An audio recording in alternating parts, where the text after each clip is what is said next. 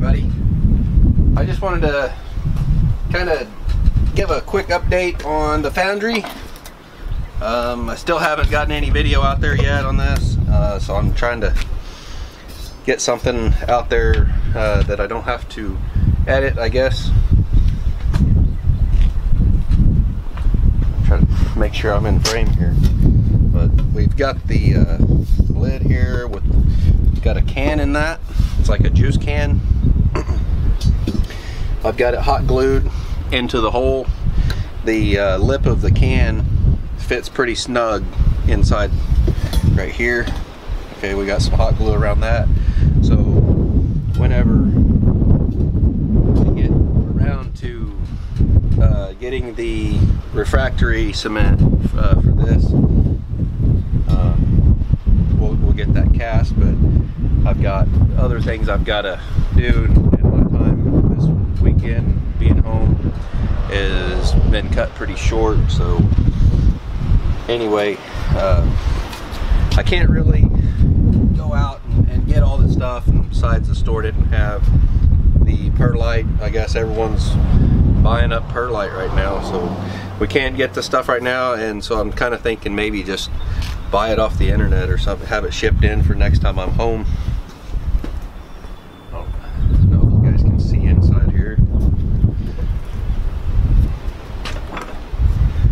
there's the uh, the A25 Crucible.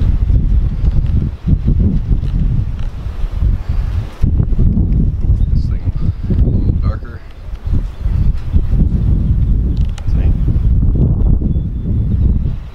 Uh, I think that looks good there. Okay. I'm still learning the camera, so be patient with me. Here's the A25 Crucible. I think it was it holds I want to say 4.8 liters. That's plumb full, like up, up to the, that's the brim full. It'll hold 4.8 liters.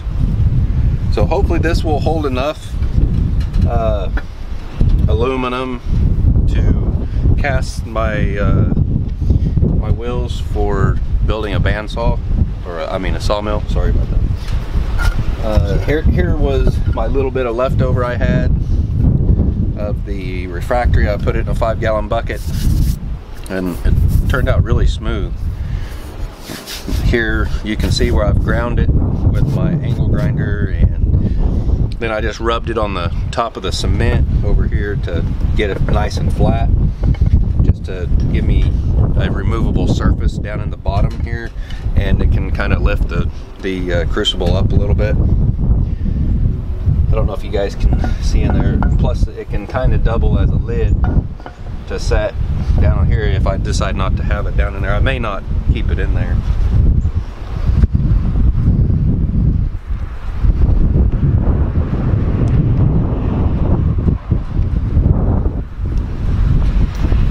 Okay, the this plate here, I think that's about 3 16ths thick.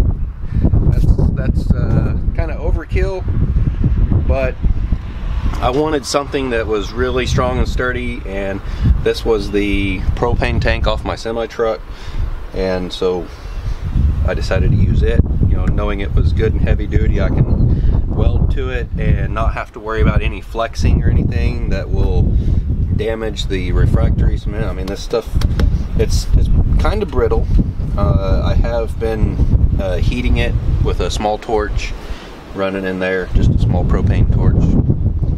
And uh, I had it up to about 480 degrees is what the uh, the infrared thermometer said.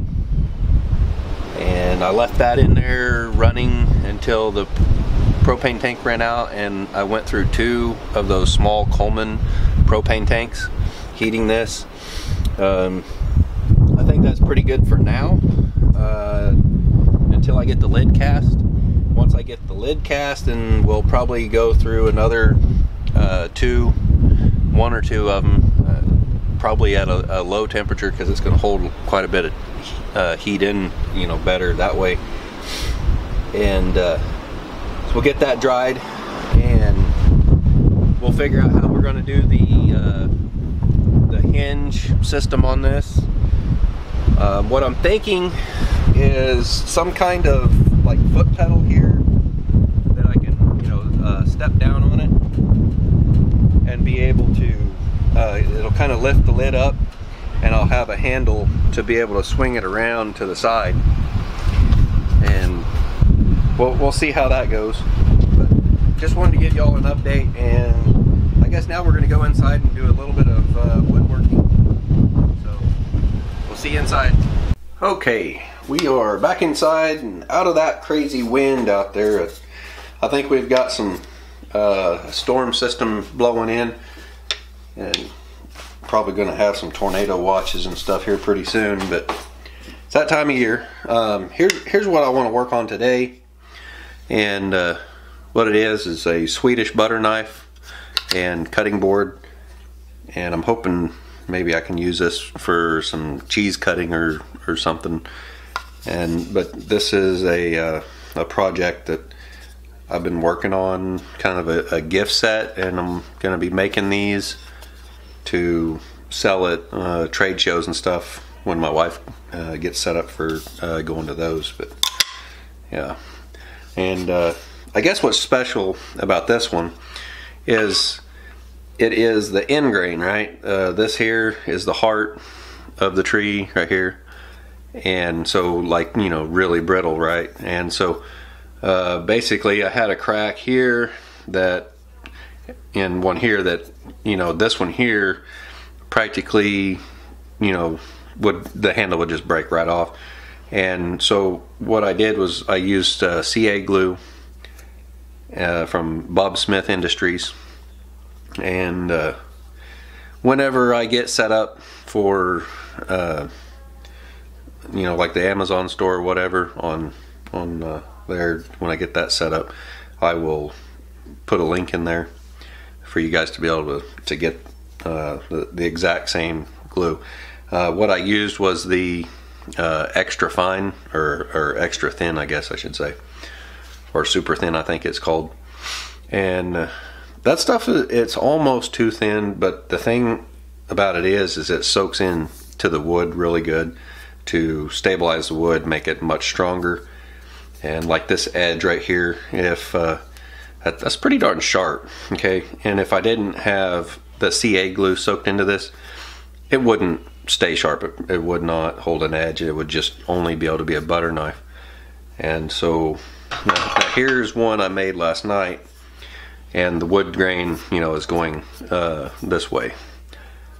And the and this this hasn't been finished. It doesn't have any CA glue or anything on it. And uh, you know, it's just uh, kind of my own little design. I, I did copy off of a, uh, a photo that I found on the internet and I kind of you know just put my own little touch to it with the the finger grooves here and and uh, I, I did change it a little bit with you know the height here. And it that one was almost just it, it ended up that way because of how brittle the the edge was. So I mean if you see here you know you can see how it's just a bit smaller. Okay so that one was just a you know the first time one trial now this one is going to have a brother. Okay? So that's what we're going to work on right now. Okay this was um, this was a, part of the piece of wood that was going to be um, the first wooden bowl for Pure Living for Life, but it exploded on the lathe. So that that's this is a, a piece of wood from that. Um, let me see if I got. I think I still got those pieces laying around here. That bowl. Here's the. Here's part of that bowl. Uh, you know, I don't know if we could match this up or not, but you can kind of see that that's basically what uh, this is being made from. So even though this thing exploded on the lathe, I'm still gonna make something useful out of it. That, that's kind of that's that's my thing. Okay, everything I make seems to be, you know, repurposed, and uh, you know, instead of just throwing it away or or burning it as firewood. I mean, I don't have anything against that, of course, but um, I, li I, like to make things out of, you know, old pallet wood and stuff like that. But, well, let's see here.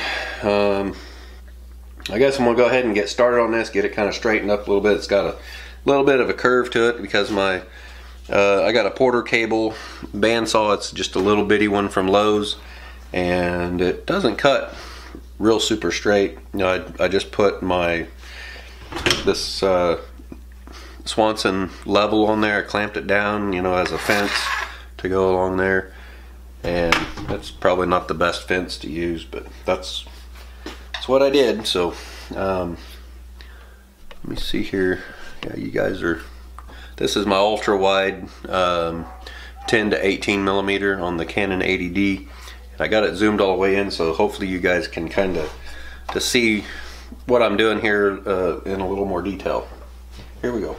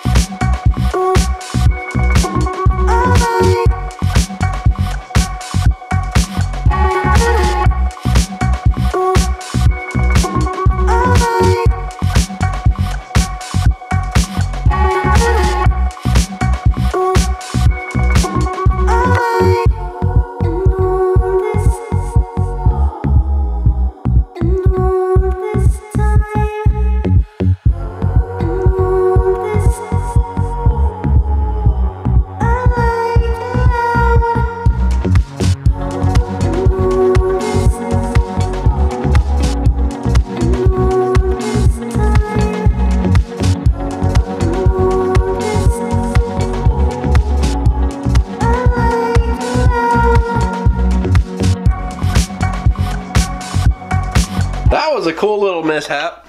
Um, I kind of expected it to happen eventually.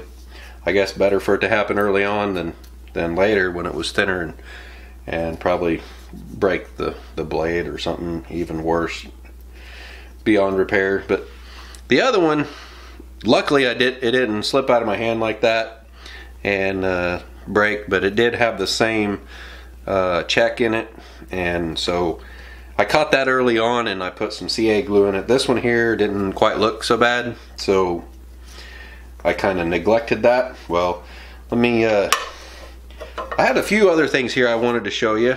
Uh, some, some things my wife makes. Let me get my fingers out of the way here. Okay. Um, so if you uh, if you like you know, some plaques like this or whatever. She does make these herself, handmade. They're not laser printed or nothing. She does it by hand with a uh, like a soldering iron wood burner. Uh, we do those. We do coasters. Um, just almost anything that you could think of, she can probably do it. And you know, we like to put it on red cedar but we can probably do it on just about any kind of wood. It needs to be a light colored wood so it can uh, show up. And uh, if you guys would like to order something, you can go to our Facebook. It's uh, what is that? Hood's Custom Woodworking on Facebook. So go give us a, a look over there, and hopefully in the future maybe we'll get a you know if we can start getting some orders or something, we might look into uh, doing a a website or something. Let me find my gloves here.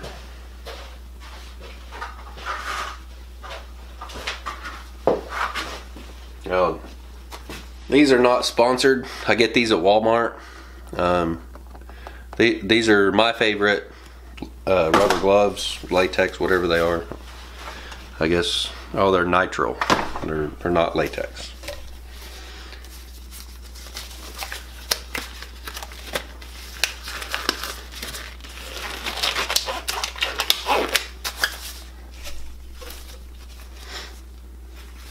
Now if you don't like your glue to set up in like three seconds, then you might want to get the medium CA glue. The, the medium takes a little bit longer to set up. I don't think it, I don't think that it uh, affects the uh, actual bond strength. But the this one here is the super thin. It says one to three second glue. It is fast, trust me, it is fast. Uh, what I had before this was the medium, which has, you know, a little bit of work-in time. So let's uh, open this up a little bit here. I gotta get ready to, to fit that up and, and better get it right the first time, right?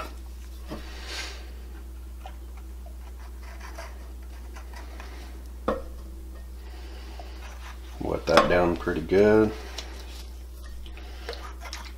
That burns your eyes pretty good there.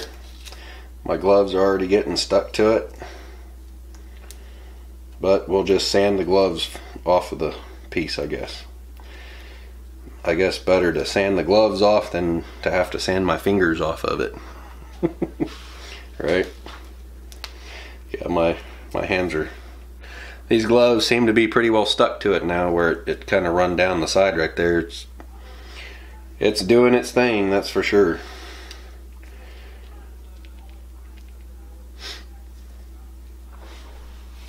Can you uh, grab that can of 2P10 up there? The aerosol can. Uh-oh. my wife is a, a, little bit of a shorty and I got the 2P10 way up on the top and I don't know if she can get it. My hands are like I am I am glued.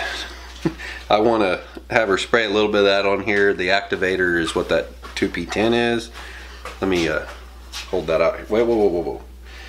We got to close that bottle up. Don't, don't, no, no, no. You don't have gloves on. Wow. I am. Yeah, if we you spray that activator inside this bottle, and we're gonna have issues. That stuff's not exactly cheap. okay, here we go. Hey, and we're trying to not have to edit this. okay, so you guys are getting what what are they called? Reality. This is reality here, guys. okay, here we go. Just spray it spray it on there, pretty livid. Let it soak in. A little more. Yeah, I'm, I'm pretty sure that's it's done. There we go. Yeah, look at that. You know, that's why we wear these rubber gloves.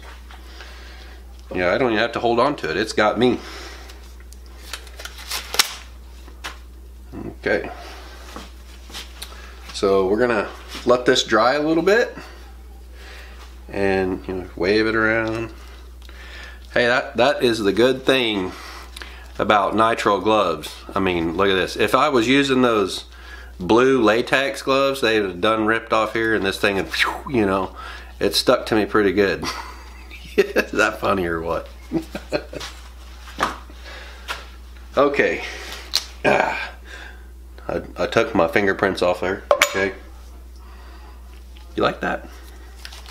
Hope you guys like my channel. Um, subscribe to my channel we've got lots and lots of things to, to do. Every time I come home, I'm normally gone for oh two or two to three weeks at a time. Come home for about four days, and this is this is what I do to kind of forget everything you know out there and and what I do uh, in my day in my day to day, which is uh, truck driving. I'm an owner operator in the oil field right now, and so that's right now. That's what actually funds all my projects is is doing that, and maybe someday I can get away from doing that and then just uh, focus on my projects. And so we also, of course, you and before this clip, I guess I, I think I'm going to put that uh, before this here is about the the foundry. We're we're doing the foundry. We're going to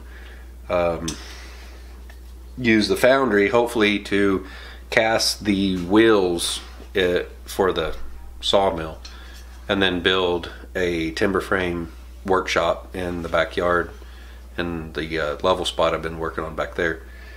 So there will be a whole lot of uh, stuff to come, and uh, I think we want to. Uh, that's another thing to talk about. I think we want to change the name of this channel, and you guys let me know in the comments. Um, I'm thinking. Uh, I don't know. Probably something like metal, stone, and wood with David Hood. I don't know. That's, that's kind of what I'm thinking, but um, something to that effect, I think, because I, I do metalworking, woodworking, and some uh, stone working. So probably not a whole lot of stone stuff, but you know, of course, the casting of the refractory stuff like that. But and uh, we may in the future grind out some stone sinks out of granite. I'm not real sure. I, I'm gonna have to source that. So anyway, um, hopefully this is set up good enough. I hope. If not, you might witness me getting injured by this thing. So here we go.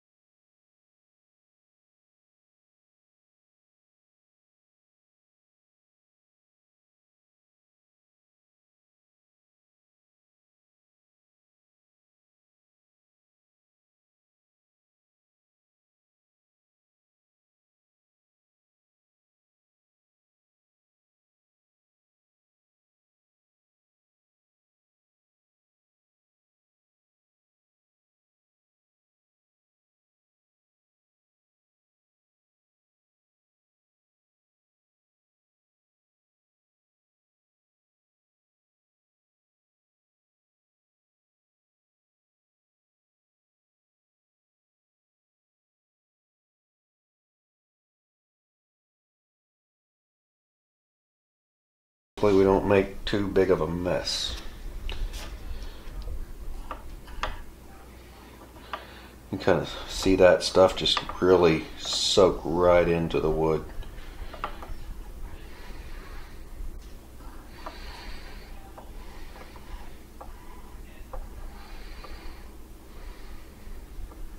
I'm not squeezing the bottle or nothing. I'm just letting it, you know, come out freely. That is, it's really coming out now. We really need to let it soak in good.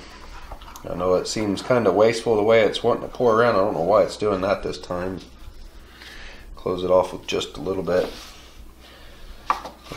Rub that around and that stuff that's on the table here. So we can soak some in there. And then we're going to set it over here off of that. Try not to be stuck to it.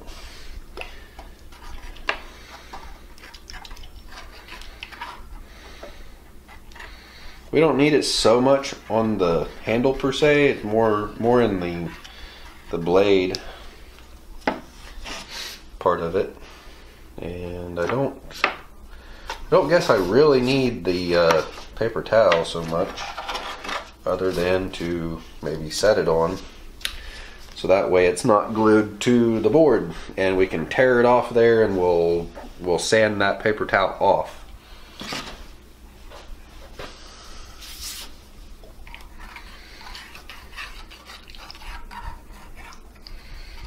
Hopefully. As much as I'm putting on there now, it it uh, it might try to become solid. All right, so we can work on this one here. Remember, we got to kind of be quick. I just turn that thing off. Just a little more here. Yeah, it's like this stuff is so thin, it's almost a all or nothing kind of deal. Ooh, that is strong on the eyes, I tell you what even that ceiling fan is not helping out a whole lot.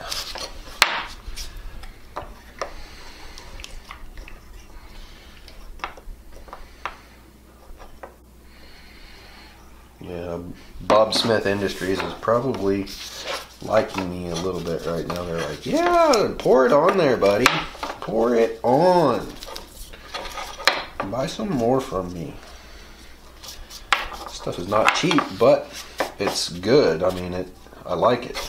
So I can't wait to get into doing some uh, acrylic work once I get the uh, sawmill going, and uh, get to doing some slab tables and well, a front door for my house. I really want to do a uh, inverted live edge uh, door with uh, you know where the live edge both live edges are, are facing towards the uh, middle of the door and be able to like color it like a blue or something like that and some I'm thinking some uh, pearl in it.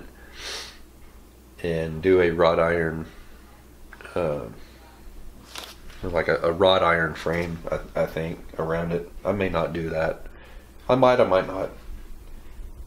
I need to really think about it, kind of draw it out and, and see what my wife thinks.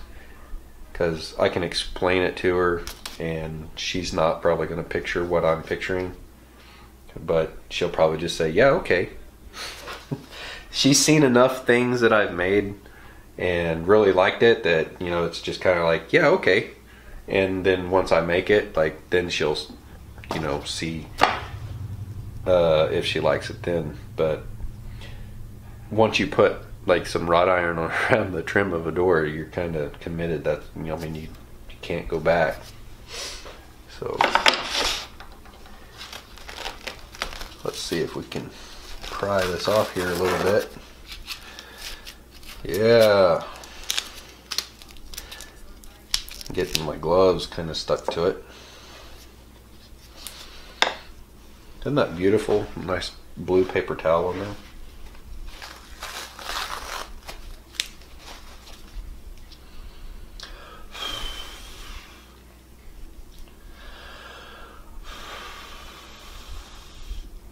so that if you get like the thick, I, I haven't used it yet, but I think if you get the thick CA glue, it's not going to soak in as deep into the wood. So if this is what you're trying to do with it, I probably wouldn't do that. Uh, I would go with the thin, it, it dries fast and it soaks in pretty deep into the wood so you can sand it and you still have that protective layer inside the wood plus it it strengthens the wood and you know because I mean shoot that thing it's almost it's I mean it's stiff as a, a steel blade right now so yeah so anyway we will sand this down with uh, I think I'll just use my DeWalt uh, DA sander here uh, I believe I have 220 grit on there. I think that's 220. And well, I'll probably hit it first with this here. Me see. That's uh, that's 120. Okay, we're back. And well, I noticed that I've got I somehow I got the uh, C, CA glue on here somehow. I think it was when I sprayed that 2P10 uh, activator on it. So I had to sand this down and I know how everybody loves to watch oil be put on wood and so we're going to show you a little bit of putting some uh, butcher's block oil on the cedar after I sanded it. It, it. it has a previous coat on there but we had to sand on it because I goofed up a little bit. So here we go.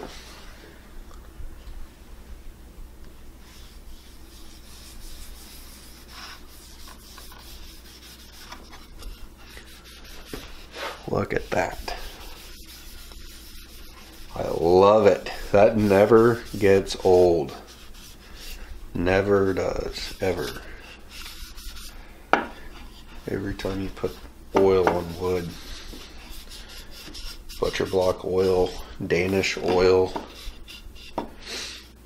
Yes, it's one of those kind of high maintenance finishes, but I really like it for, you know, something like a cutting board that's going to get scarred up and you know that you're going to have to fix that, you know, and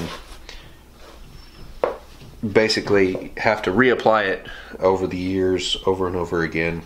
And uh, I don't think it, it, it's not like a varnish uh, that, you know, builds up over time in, in unused spots of, on it so I'd recommend staying with a uh, like the butcher block oil for you know like a cutting board or something.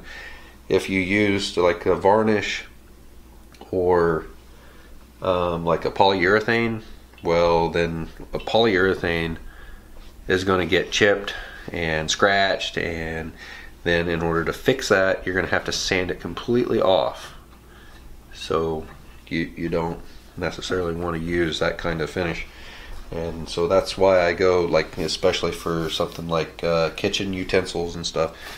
Um, you know, of course, these have CA glue on them, and that's primarily to strengthen them because I mean they're they're quite thin right here, so it's just you know it's it's one of those things um, that you know will help make them last a little bit longer. But there you go, look at that the red cedar it's western red cedar that we we get from a local sawmill.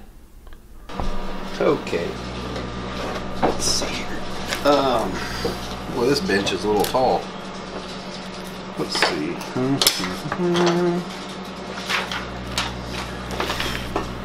Hope I didn't get too much dust around here.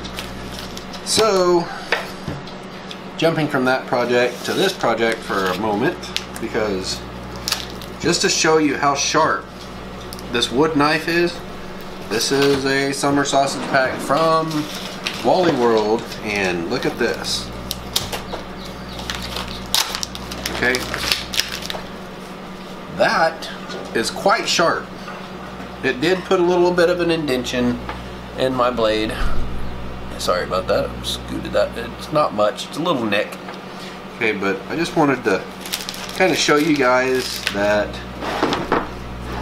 it is quite sharp. Okay, I just cut that plastic package. And uh, garnet, that's the one I planned on giving away. So we got some cheese here. Some good old sharp cheddar and some uh, Colby and Monterey Jack. Some Colby Jack. Alright. Look at that. Who'd have thunk that you can make a wood knife, a wooden knife, and uh, be able to cut open your package of cheese, right? So, alright, we've got our cheese out here. Let me kind of clear this off here. I think they got some dust on it here. And uh, so, I guess, can you see what I got going on here? We kind of need the camera angled up a little bit, but I think you guys can can see that. Make sure we got the focus right there.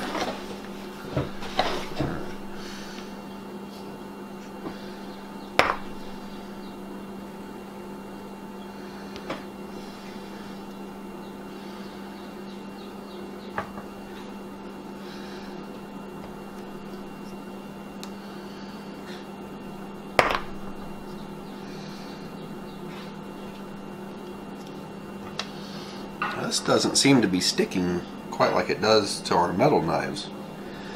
I think it's like the, rounded edge here and the bevel kind of helps it come out away from it and not stick to it so much.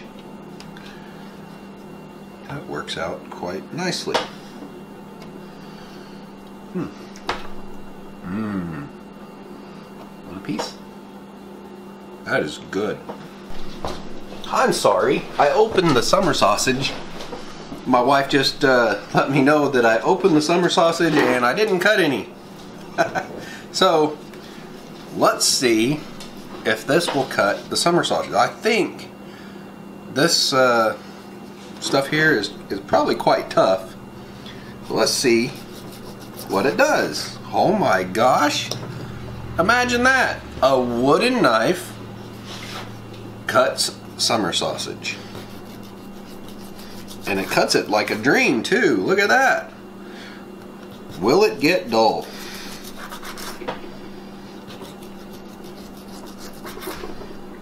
Well, I'm I'm almost starting to wonder if I really want to give this away. that is really doing like way better than I thought it would. I'm, I mean, granted, it's it's not, uh, you know, it's not like uh, razor sharp, but I'm not pushing down real hard. I mean, that's about, I don't know, four or five pounds of pressure that I'm putting on that. And, uh, of course, um, you know, I'm not giving away this cutting board. I will have to make another one because I've, I've scarred this one up, but I am giving away this knife. And so you guys will have a knife that was used in the making of one of my videos. You even witnessed this thing breaking in half, right? Okay, and we glued it back together with CA glue. We coated it with CA glue after uh, getting the rough uh, finish, grind, and you know, grind on it, the rough shape that we wanted. Then we came back and sanded it with the DA sander, and then we put uh, butcher's block oil on it. And this thing is working really good. I am I am just amazed. I am amazed. That is so cool. It's starting to seem a little bit harder to cut through there may have just been that piece. Wow, that is cool. I can't believe it's even done this good. I may need to touch that up a little bit. Yeah, it, it's, I can feel a slight burr that it's starting to produce. So, yeah, I will have to sharpen that back up just a touch. And, uh, but that, this is not its intended use. Okay, but I just wanted to show what it could do, or prove to myself what it could do, I guess. So, there you have it. Thanks for watching.